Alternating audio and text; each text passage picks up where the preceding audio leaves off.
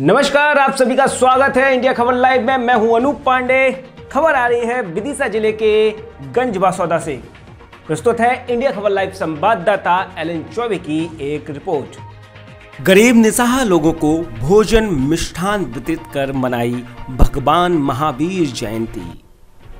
जी हाँ, महिला जैन मिलन द्वारा भगवान महावीर जयंती के उपलक्ष्य में ऐसे निराश्रित निशहा एक हज़ार लोगों को भोजन एवं मिष्ठान वितरित किया गया, जो कोरोना वायरस संक्रमण के कारण घर से नहीं निकल पा रहे थे, जो रोज कमाते थे और रोज खाते थे।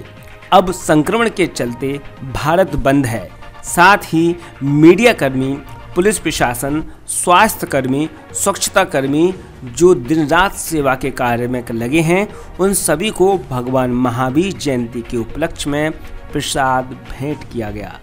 विदिशा से इंडिया खबर लाइव के लिए एलन चौबे की एक रिपोर्ट।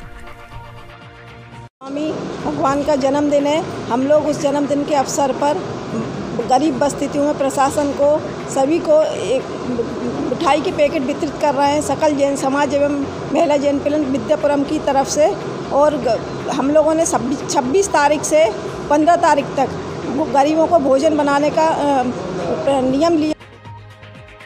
वासियों को महावीर जयंती की हार्दिक हार्दिक शुभकामनाएँ।